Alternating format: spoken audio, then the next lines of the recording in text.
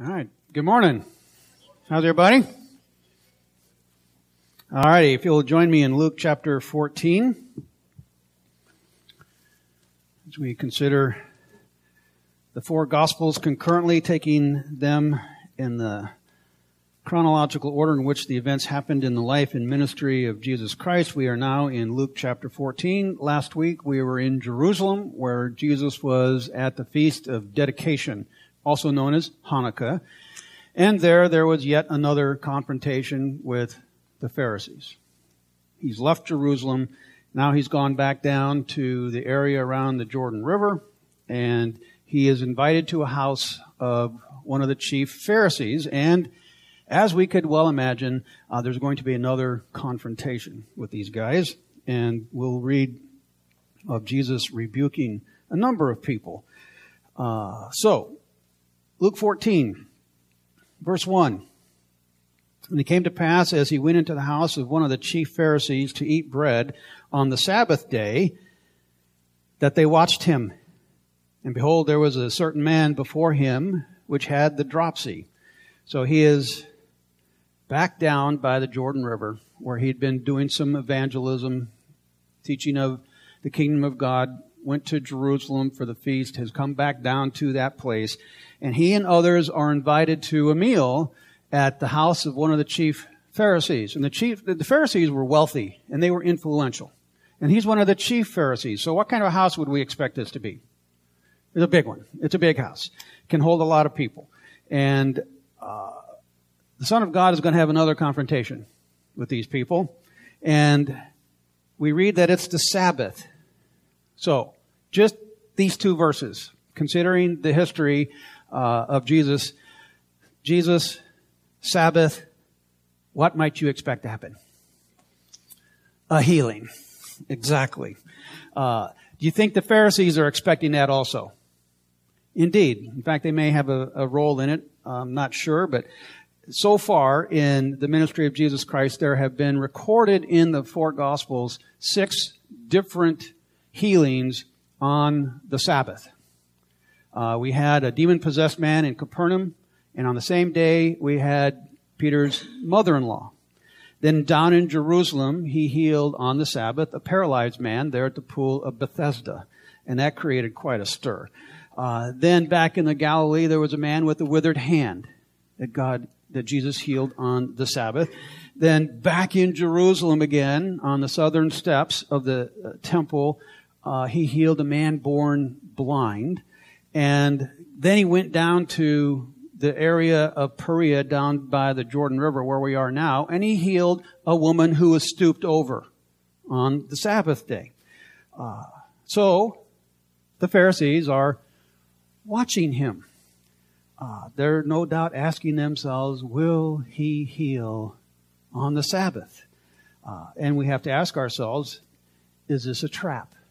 Because also present there, in fact, it says before Jesus, is a man with dropsy or uh, edema, I believe is the right way to say that. And uh, edema, according to my Google research, because I'm not at all medically inclined, is an abnormal accumulation of fluids in cells and tissues and, and things like that.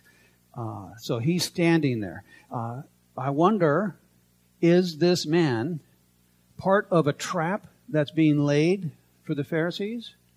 Or perhaps has he heard that Jesus has been invited and he's invited himself to come get healed? We don't know. We'll maybe get some clues as we go along. Verse 3. And Jesus answering spake unto the lawyers and Pharisees, saying, Is it lawful to heal on the Sabbath day? And they held their peace. And he took him and healed him and let him go. It says Jesus answering. Answering. Answering what?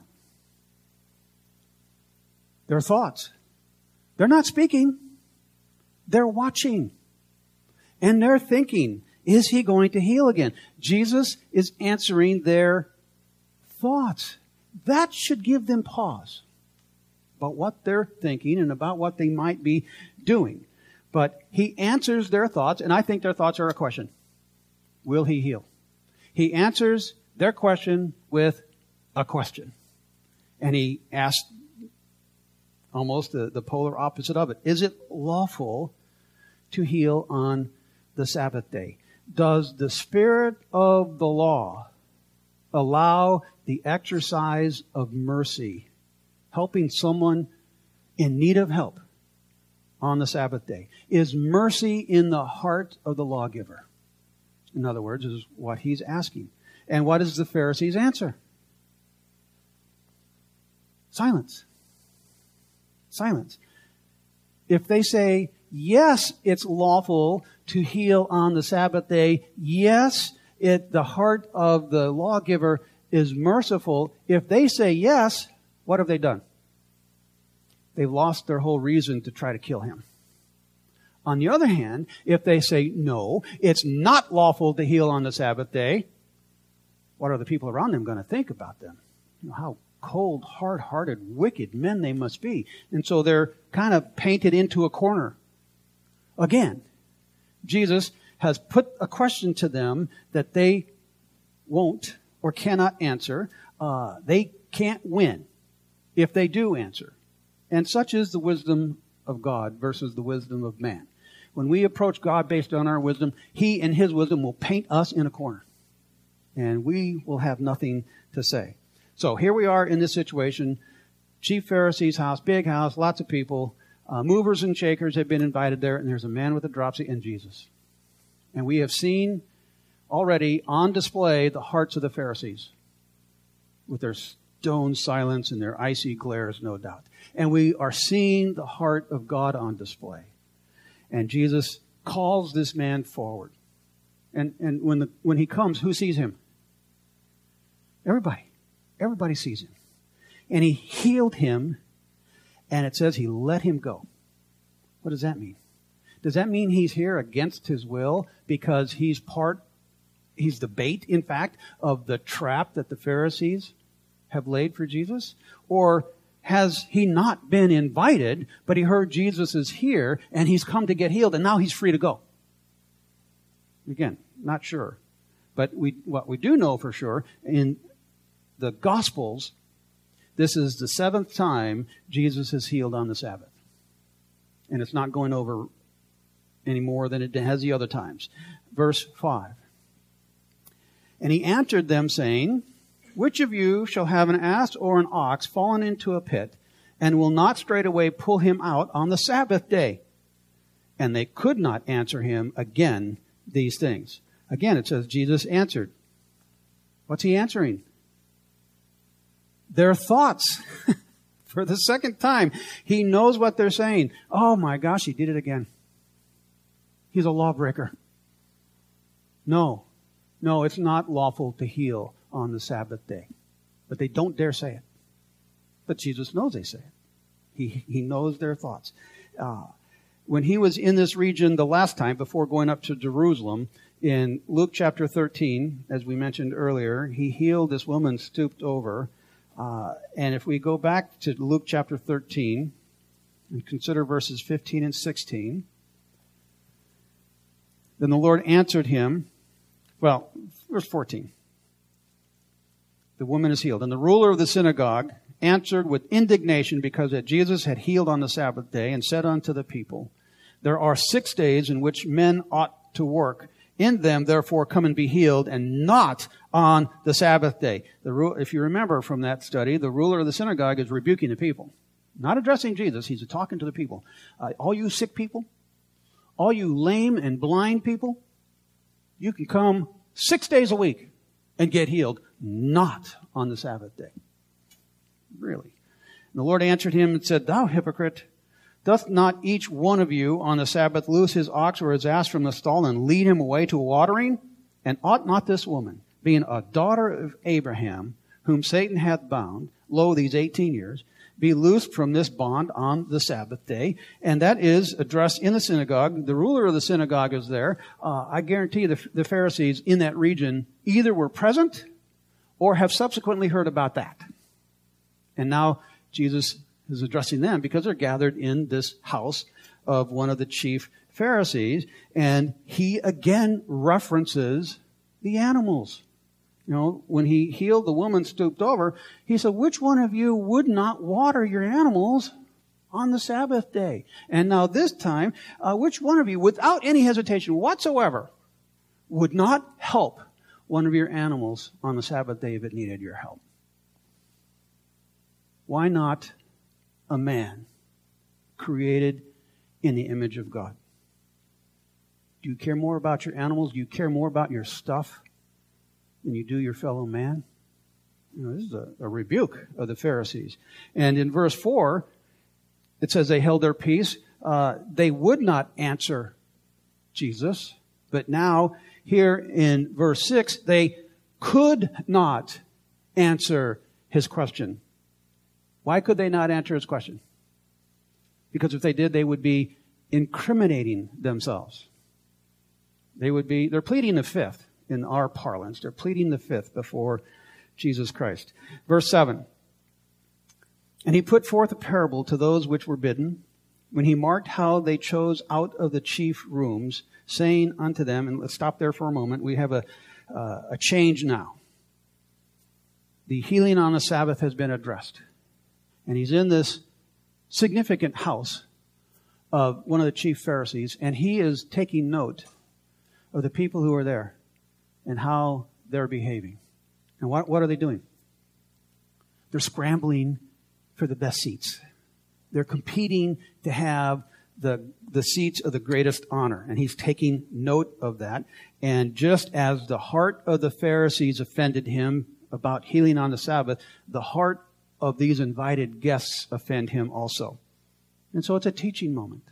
And Jesus never passes up a teaching moment. And he teaches in parables. And so we have one starting in verse 8. When thou art bidden of any man to a wedding, sit not down in the highest room, lest a more honorable man than thou be bidden of him.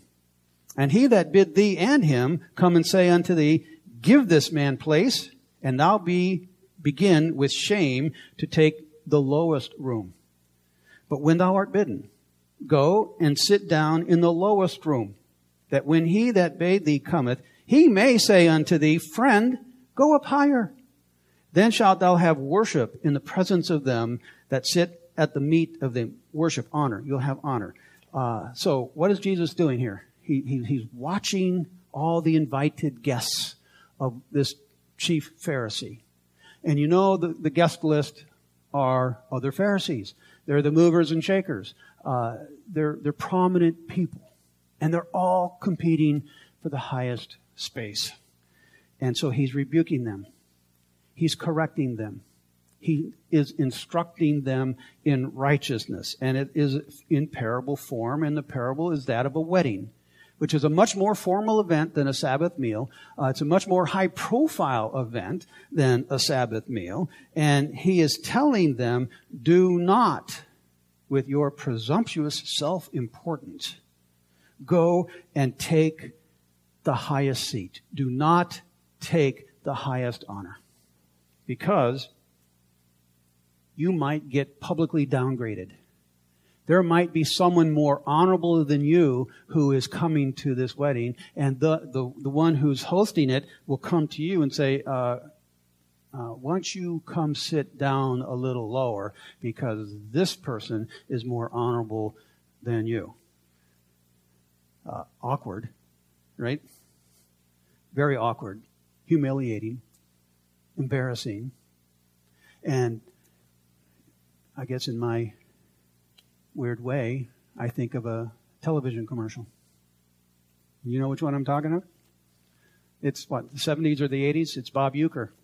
It's a, beer commercial, but uh, he's he's told to get out of his seat, and the line is, "Oh, I must be on the front row," and he's taken up to the very high, furthest row.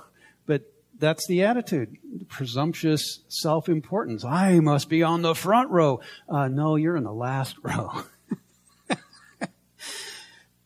so Jesus said, rather rather than do that, rather than assume or take for yourself the honor that may not be yours.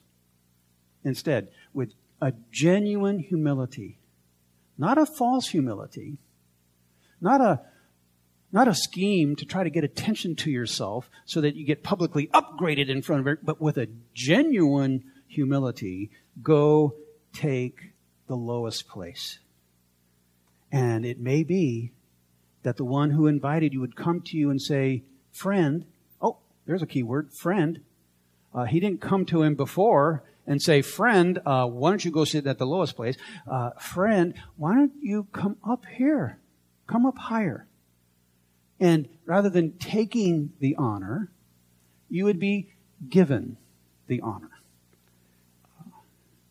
And in a wedding, for, for this to happen, uh, to be humiliated would be in front of all the guests.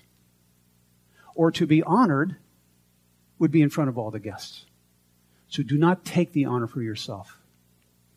Go to the lowest spot. And if there's honor to be given, uh, then it will be given. Verse 11.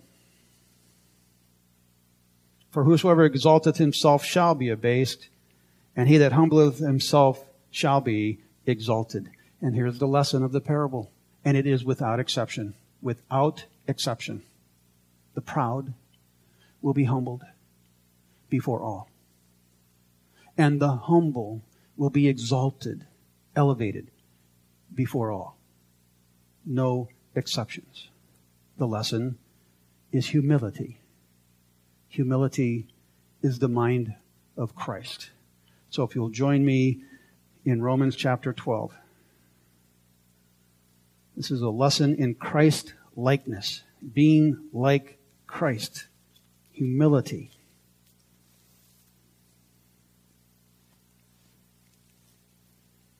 Romans chapter 12. Starting verse 1. I beseech you, therefore, brethren, I beg you, I plead with you, by the mercies of God. The mercies of God. Uh, see, God is willing to help us that need help. And who needs help? Everybody without exception. He is willing to help those who need help. By the mercies of God, that ye present your body a living sacrifice. If a body is presented as a sacrifice, it's for others. It's not for yourself. You, you would not offer yourself as a sacrifice if it's for you. It's for someone else. That means we must think of ourselves last and not first. Love the Lord your God with all your heart, soul, mind, and strength. Love your neighbor as yourself. Self is last. Holy, acceptable unto God, which is your reasonable service. It's, that's reasonable. Because that's the mind of Christ. That's the heart of God. And be not conformed to this world we're all grow, we all grow up in the world. We are all educated by the world. And what's one of the things that the world teaches us? Look out for number one. If you don't look out for number one, no one else is gonna. Me first. That needs to change. Be not conformed to this world, but be ye transformed by the renewing of your mind. How does a transformation of our mind, the way we think, how does that happen? The Word of God, Spirit of God, changing how we see, changing how we think. And the Holy Spirit is teaching us to think like Jesus. The ministry of the Holy Spirit is to witness of Him not only to those who do not believe on him, but even after that, to those who do believe on him. We must learn to think like Jesus. That you may prove, test, show what is that good, acceptable, and perfect will of God. And the perfect will of God is to love him first and to love all others next.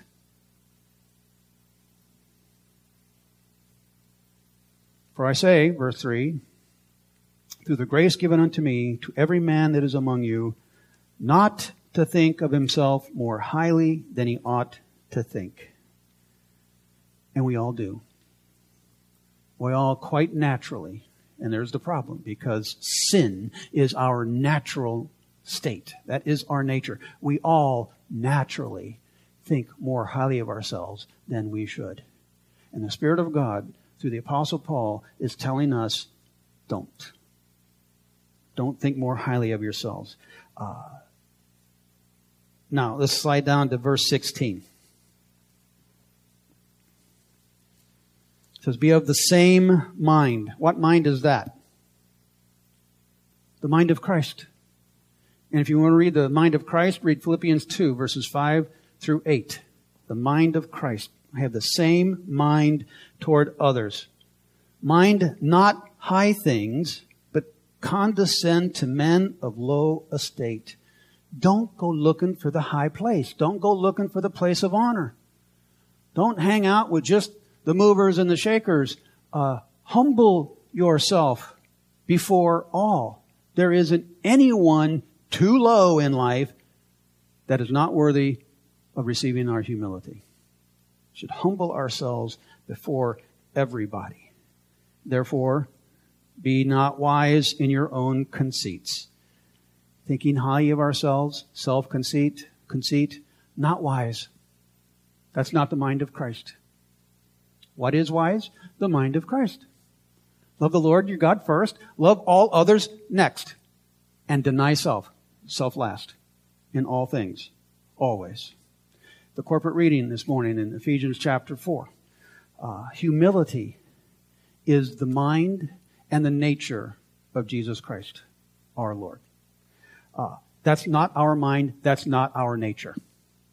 So we must take off the old man and put on the new man. He is the new man. The new man, humble. Always humble. Uh, let's go now to James chapter 4.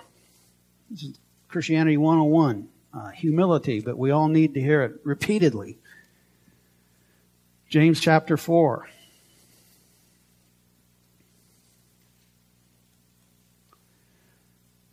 And let's pick it up in verse 6. It says, But he giveth more grace. What is grace? Forgiveness. It's our greatest need to be forgiven of our sin. He giveth more grace. Wherefore he saith, God resists the proud. This is the very polar opposite of Romans 8:31 that says, if God be for us, who can be against us? Well, he is against the proud. He is with the humble. God resists the proud, but giveth grace unto the humble. Our greatest need to be forgiven of our sin. And there's nothing we can do to earn it. There's nothing we can do to buy it. It must be given. For Him to give grace requires humility on the part of the recipient. As, as, Jeff and I were talking beforehand, if we say we have no sin, call God a liar. Because God says every man is a sinner and fallen short of the glory of God. God resists the proud, He gives grace to the humble. Submit yourselves. What's required for submission? Humility.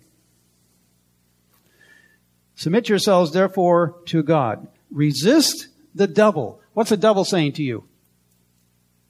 Don't humble yourself. Look out for number one. Resist the devil and he will flee from you. Draw nigh to God and he will draw nigh to you. God, us. Draw near to God. He'll draw near to us. Uh, who needs, who needs to move?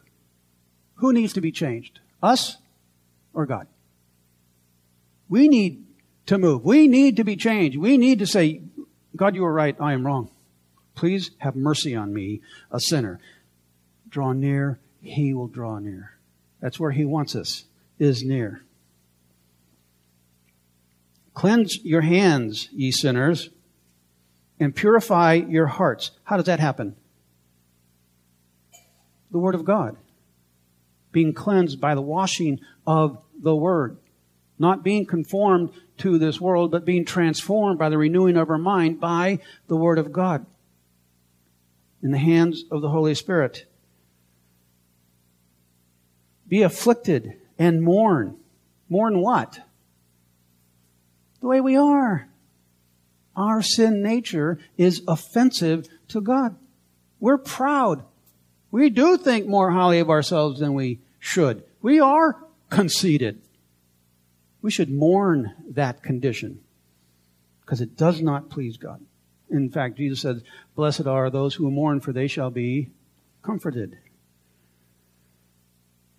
Be turned, and let your laughter be turned to mourning and your joy to heaviness. Humble yourselves in the sight of the Lord, and he shall lift you up. What a promise. Humble yourselves before the Lord, and he will lift you up. Blessed are the meek, for they shall inherit the earth. Going back to Luke 14.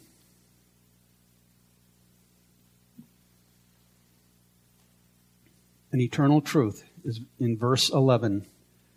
For whosoever exalteth himself shall be abased, and he that humbleth himself shall be exalted. And it doesn't have to be in spectacular ways. Have we all been humbled by God? Uh, when? Generally, when we have been thinking much too highly of ourselves. Just a very simple, even silly example. I play softball. And some games are good and some games aren't. When the, when the games are good, it's very easy to think, you know, I got this thing down. I'm doing all right. And the next game, humbled. Everything in our life in the hands of God can be a humbling experience because we are not able. Jesus told us apart from Him, we can do nothing. If we think we got it, if we think we don't need help, then He will show us wrong. He will show us just how much help we need. And when we agree with Him and, and say, Lord, help me, He helps us. It's His desire to help us. So, now, a change of attention by Jesus. He's going to turn his attention from uh, the, the, those who were there to the one who invited them there. Verse 12.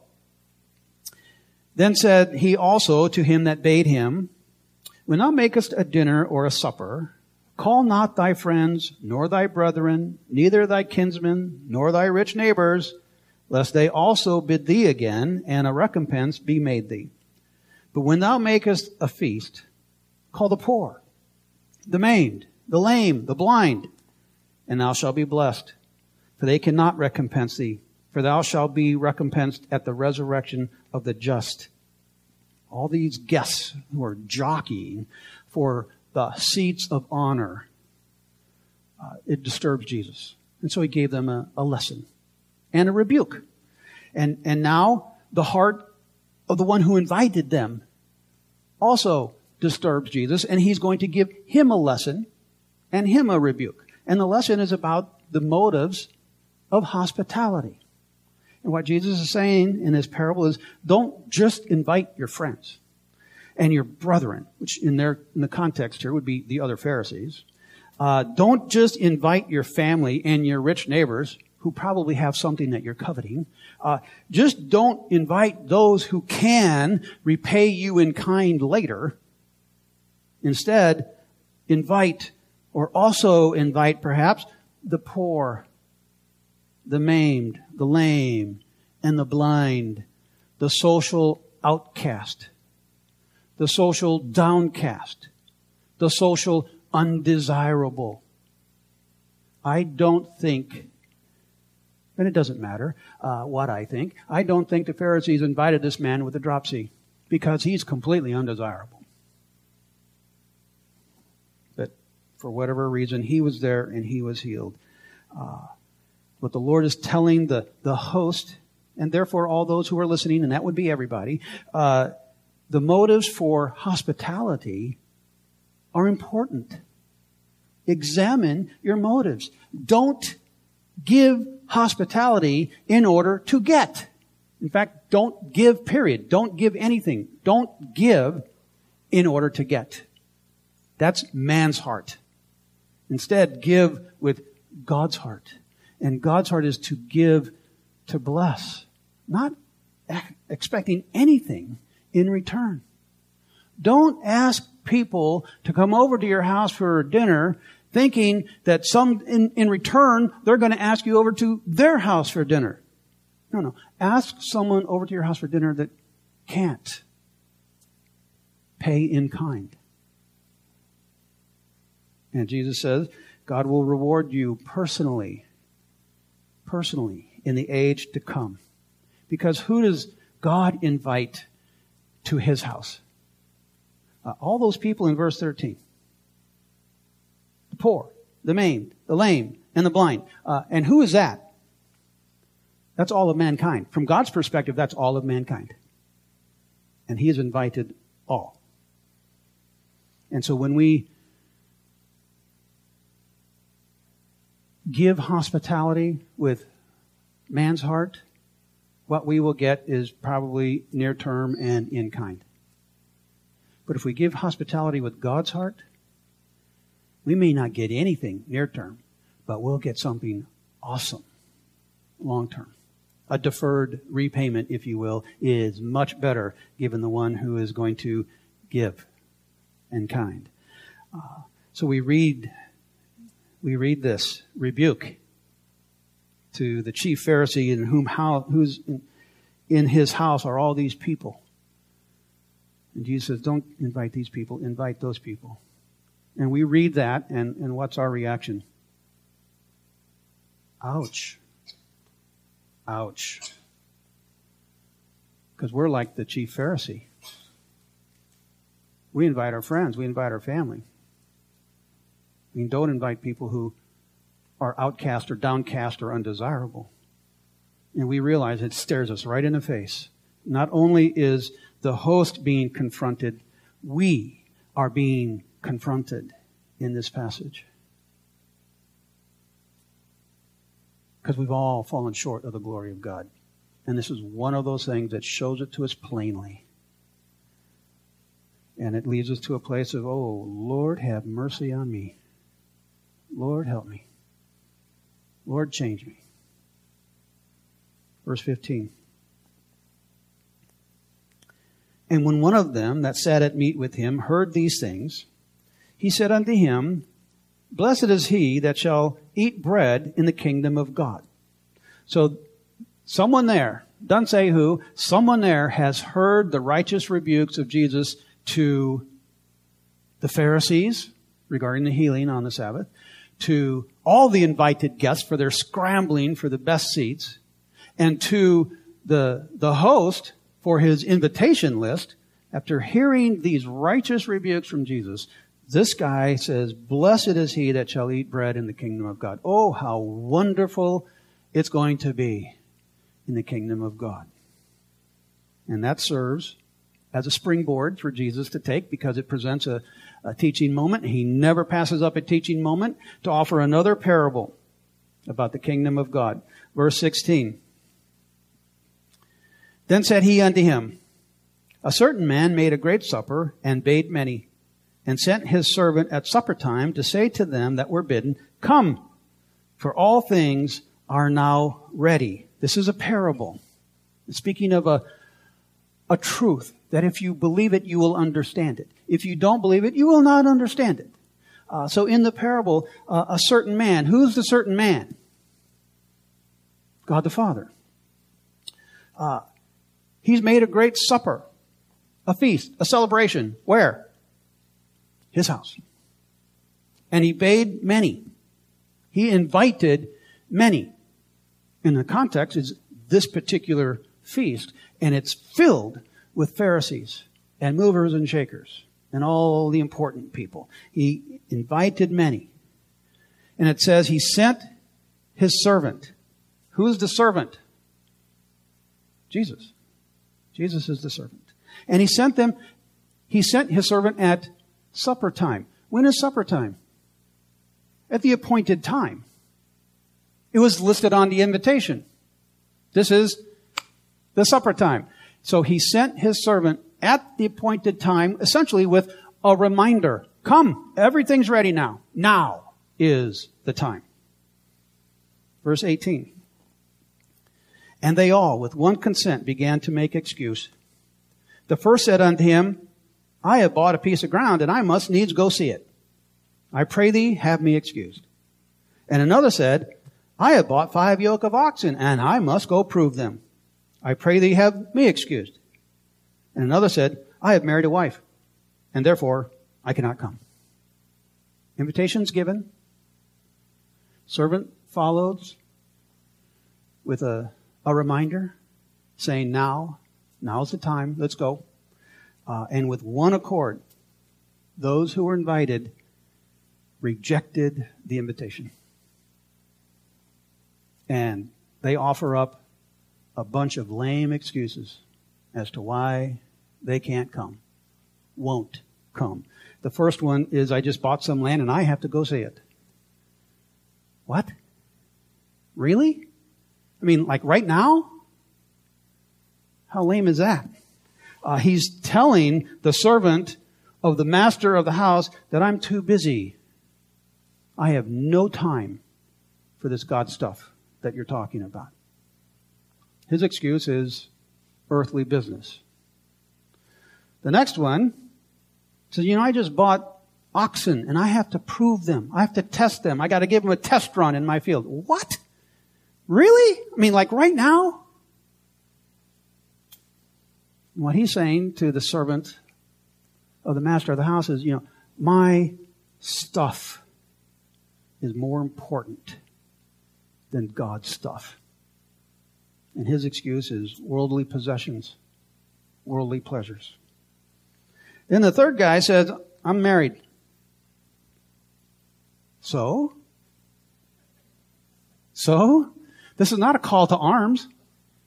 Remember back in Deuteronomy 20 and in Deuteronomy chapter 24, if the Lord tells him, when you go into the land, it's time to go to battle. Uh, if someone has just taken a wife, he doesn't have to go. Let him spend the first year with his wife, and then he can go. This is not a call to arms. This is a call to a celebration, to a feast. Well, I'm married. So? so? What he's saying to the servant of the master of the house is, my wife is more important than God. And his excuse is an earthly relationship, a social relationship. Verse 21. So that servant came and showed his Lord these things. Then the master of the house, being angry, said to his servant, Go out quickly into the streets and lanes of the city and bring in hither the poor and the maimed and the halt and the blind. And the servant said, Lord, it is done as thou hast commanded, and yet there is room. The servant reports back to the master of the house. The servant is Jesus. He reports back to the Lord, the Father. And he shares all the lame excuses that he heard as to why they're not coming. And the Father is angry. So he sends, instructs his servant, his son, to go near, to go into the streets of the city, go near and invite the poor, the maimed, the lame, the blind, those that we read about in verse 13. Uh, go in the, in the mind of those who were invited uh, to invite the, the maimed and the poor and the lame and the blind is to invite publicans and sinners. And the servant says, It's done. We've done that. And there's still room. See, Jesus has been preaching the kingdom of God is at hand for coming on three years now. The Pharisees hate him. They want him dead. Those who are the poor and the maimed, the lame and the blind who have been touched by him and healed by him are responding. But Jesus saying to the Father, there's still room. We still got room in your house. So verse 23.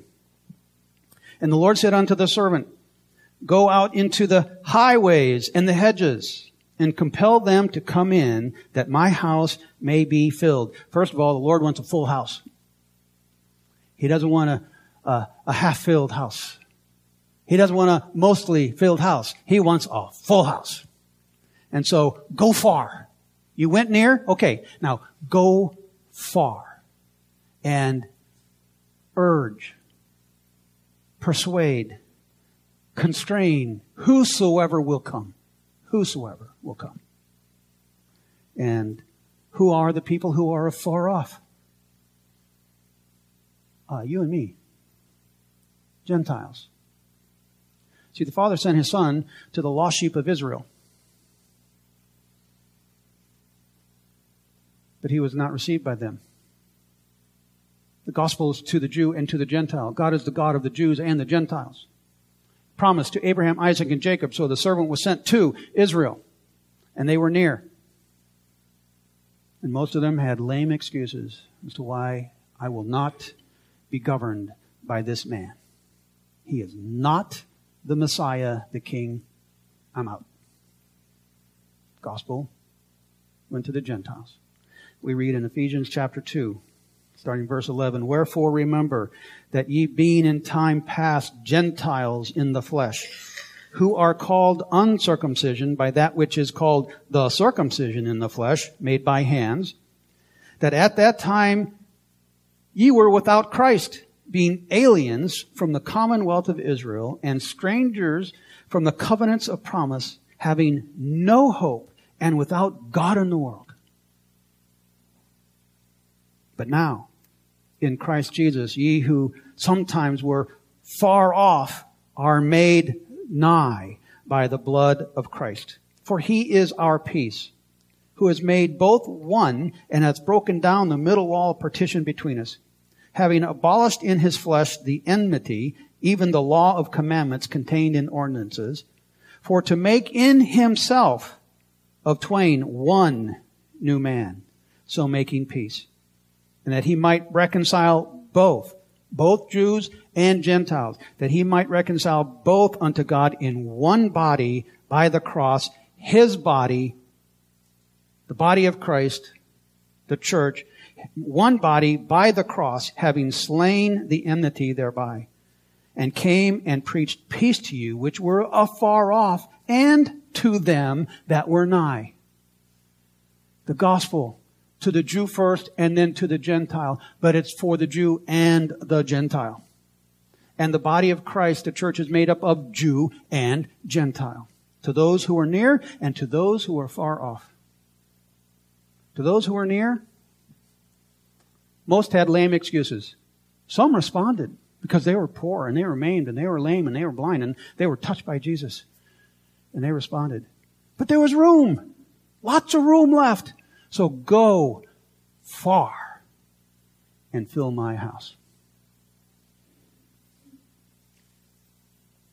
And someone came and told each one of us who Jesus is and how much he loved us and what he did to reconcile us to God. Someone came and told us that. And we were drawn by that love. We were drawn by that grace.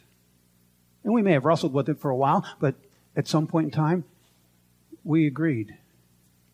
We confessed our sin. We repented of our sin. We were given newness of life, and now we're part of that body because someone cared enough to tell us. But there are still people afar off that haven't heard. Uh, who, who goes? Who's to go there? Us. And the message to draw is God's love and God's grace. Verse 24. For I say unto you that none of those men which were bidden shall taste of my supper. Remember, in the context of the parable about the kingdom of God, many people were invited, But they all had these lame excuses. Well, then go near. That's the, the Jews. And go far. That's the Gentiles. Well, then who are the men who were invited in the context of Jesus' parable to the people present at that meal? Ah, the people present at that meal. They were the ones present, and they're the ones with the excuses as to why Jesus of Nazareth is not the Messiah. And we're not following him. Jesus concludes his parable by saying that the master's judgment of them who were invited but offered lame excuses why they would not come is that they will not eat bread in the kingdom of God. That which they thought was theirs by birthright, the kingdom of God, they're not included because they would not come when all things were ready. On the other hand, the master's judgment for all those undesirables, the poor, the maimed, the lame, the blind, near and far, his judgment of all those undesirables who did respond and accept the invitation to receive his help, to receive his grace, is the kingdom of God. So in this passage of scripture in Luke chapter 14, there are four very pointed lessons for all of us. The first one has to do with being self-righteous and legalistic. Jesus healed on the Sabbath. The self-righteous Pharisee said, it is not lawful to do that. He is breaking the law. They had no mercy, even though the lawgiver delights in mercy. Beware self-righteousness. Beware legalism. It's very upsetting to the Lord. The second lesson is about humility the mind of Christ. And we're instructed to not be self seeking, to not be self important, to not be presumptuous and arrogant and self righteous, and to not be falsely humble, but rather to genuinely be humble, to love the Lord first, all others next, and ourselves very last. We're taught to be self last, the mind of Christ. And the, the third rebuke, therefore, the, the third lesson also has to do with humility. It's the heart of God. Don't give in order to get, but give in order to bless, not expecting anything in return. That's the heart of God. And the fourth lesson is about the kingdom of God. Who gets an invitation? Everybody. When you receive the invitation, don't reject it with some lame excuse. And from God's perspective, what is a lame excuse? Every excuse is lame. If you get the invitation to come because all things are now ready. Don't reject it. Take it. And don't say, okay, I'll do it, but I'll do it later. Don't wait. Because now is the time of salvation. None of us are guaranteed tomorrow. None of us are even guaranteed dinner time tonight. Now is the time of salvation. And so when we get the invitation to the kingdom of God, grab it. Hold on to it. Don't let go of it. Be thankful, rejoice that it's been offered, and be uh, eager to accept it.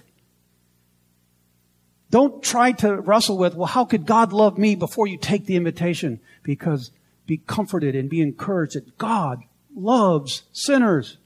He loves the poor, the maimed, the blind, the lame, all of those spiritual undesirable sinners. We're all sinners. God loves us. He hates the things that we do. He hates our nature. So he sent his son to bear the sin and his wrath for all of those sins that by grace through faith we might receive his nature. God loves the sinners. We should be comforted by that. And we should be changed by his love and by his grace. And we should be motivated to put feet to it and leave here and go share that good news with someone. Someone loved us enough to give us an invitation to the kingdom of God. We have lots of people in our lives. Every last one of us have a lot of people in our lives, close or far, at home or at work or whatever. We have a lot of people who have not accepted the invitation. But they still have breath, so there's still time. We should love them as someone loved us and tell them about the love and the grace of their Creator. Because now is the day of salvation. Time is short.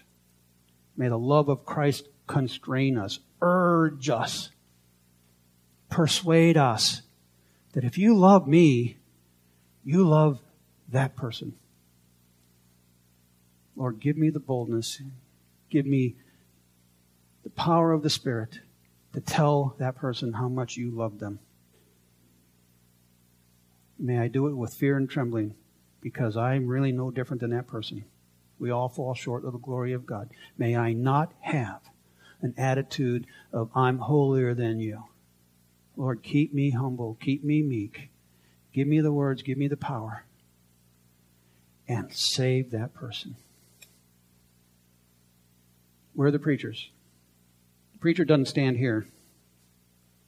A preacher stands there, but there's the preachers. Amen? So stand with me. And those who are going to Israel would also come up here. We will uh, lay hands on.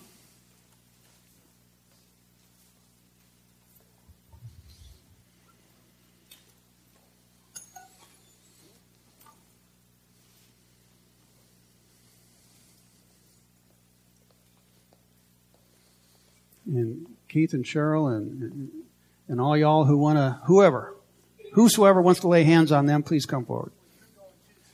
Well, I'll I'll hold on to hold on to these guys.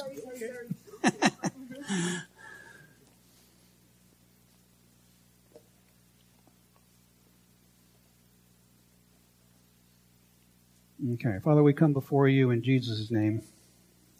His righteousness his authority. We have no righteousness. We have no authority. We come in the name of the Son, whom is well pleasing to you. We ask that you would anoint those of us who are going to Israel, that you would open up scriptures as they've never been opened up before, that we may see your will, your ways, your nature, that we may see your land and your people that we would be blessed, that we would even be shocked on occasion by the things that we see. And I pray also, Father, that we just not go be silent tourists, silent pilgrims, but we would go as ambassadors of Christ. That the love that you have for those people, you call them the apple of your eye. You have made promises that you will faithfully keep to the very last letter. May we be your ambassadors of your love and your grace and your mercy. Father, give us opportunities to talk about Jesus. Give us boldness to share the Jewish Messiah with the Jewish people. And may all those who are not going this time, may you speak to them about perhaps going another time. But in the meantime, may you send them into their homes and into their workplaces with the gospel and a love for the people that you bring across their path. May the invitations be given and may they be accepted. In Jesus' name we pray. Amen.